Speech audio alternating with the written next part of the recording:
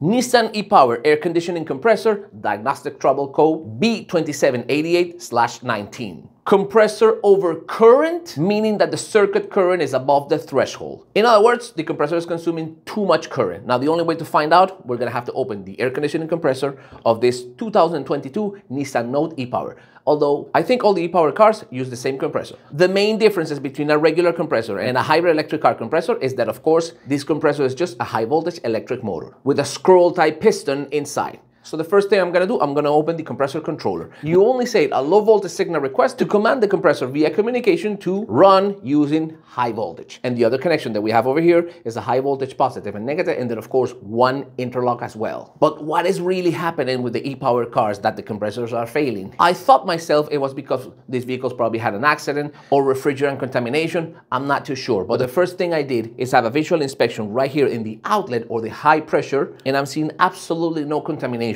which is a good sign. But why is the compressor consuming too much current? Nothing to do. I'm gonna have to open. Here we go. Okay, let me take out the cover. Okay, right here. Now remember, there is no refrigerant in this uh, particular part of the compressor because this is just the board controller, okay? This vehicle receives high voltage directly from the battery pack, positive and negative low voltage with a signal commander, and finally also two cables interlock system. I'm gonna have to separate the main board. I actually have some news for you. Did you know that this is a brushless DC motor and at the same time is an AC motor? What? Jose, what are you saying? Well, you receive DC from the high voltage battery and turn via this small inverter into look one, two, three-phase alternating current. So yes, how in the world you want to create a variable speed compressor or a variable speed electric motor, which is exactly inside this compressor, with DC? Nah, you have to turn it into AC. So this is literally inside the compressor, but I'm seeing absolutely nothing. I don't see any type of contaminant here so far. So this is the component that I want to inspect right now, the main board. Let me just disconnect it. I'll show you what we have here. So I have right here the high voltage positive, oh, sorry, the high voltage negative. I also have the small controller line communication and then of course the interlock. That's it. I can take out now the board. Now here this, the board doesn't come out that easy. You have to unsolder the semiconductors underneath, which I wanted to avoid this part, but once I turn around, we have the main high voltage contactor that allows the high voltage flow inside the compressor and finally passes through this huge semiconductor, which is the responsible to turn DC high voltage into three-phase alternating current high voltage in order to drive this variable speed electric motor. But I already test the semiconductor and test the resistor and these resistors are fine. The main board is perfect. Once again, this is just a motor controller or an inverter. The next component we're gonna check is if by chance this compressor is having some sort of mechanical failure. Let's check it out. One of the things that made me very suspicious is I'm not seeing the system contaminated inside. Hmm. And the other thing that really surprised me is that this compressor is actually made by Panasonic Corporation. It's a Japanese. So why are these compressors failing so early? There'll be no time to lose. Let's open it up. Okay, so the first component I'm gonna take out is the main cover. And the main cover in the high pressure system doesn't look absolutely no contaminated to me, right? Which is a good sign. So what we're seeing over here is the flapper valve. So I'm gonna have to extract it very carefully. All right, there it is. She's coming out. Okay, here it is. So this is the scroll. All right, let me put this here. Now you have to remember that this type of compressor doesn't use regular piston. They use scroll type compressor. In other words, the movement, it's eccentric. This is how these compressors work. Look, eccentric movement. And you can hear the noise, look. so who does that? Let me show you. there it is, a scroll type compressor, okay? You can pretend that this is a two piston AC compressor, right? So in an eccentric way, it concentrates all the pressure inside in the middle and pushes out by this valve. So this is the high pressure line. And look, absolutely no contaminant, right? But the main piston, I'm not seeing any type of damage. Look, no scratches, absolutely nothing. It looks great.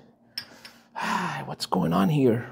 I have right here the main motor. Now the main motor has a bearing that usually is supposed to be a little loose. And let me see. Let me see if I can take it out. Oh yeah, it came out very easily. Okay, let's see.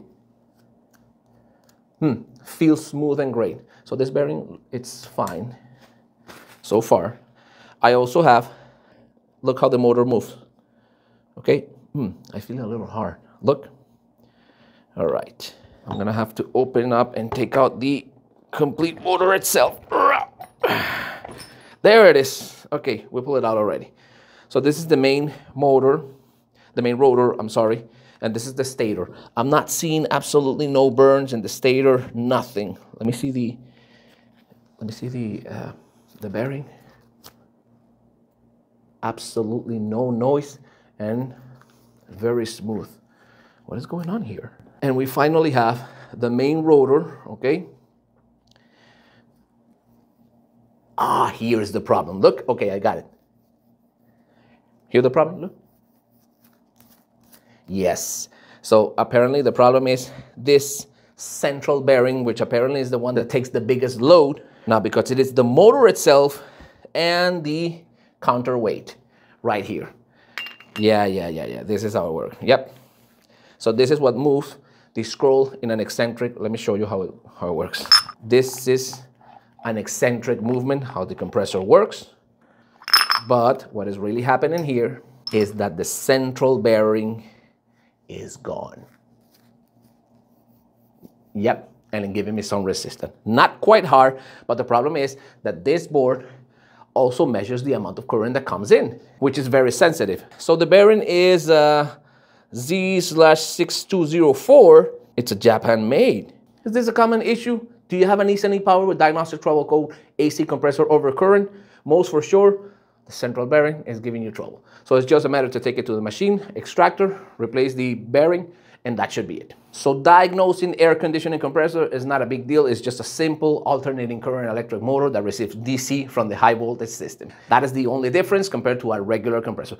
Now, something that you need to be aware if you're an AC technician, the electric vehicles and the hybrid cars use high voltage AC compressors that use polyester or POE special lubricant that it's non-conductive. You know why? Because right here inside the electric motor itself, this is the suction part of the air conditioning circuit, which means that if you have, for example, the PAG oil, which is conductive, you will create an insulation fault. That's why you gotta be very careful. Do not mix PAG oil with POE, okay? AC compressor of the hybrid electric vehicles, use POE. So there you go, a simple masterclass diagnosing AC compressors in hybrid and electric cars. They're all very, very similar. So if you want to learn more, stick around for more tips. Bye-bye.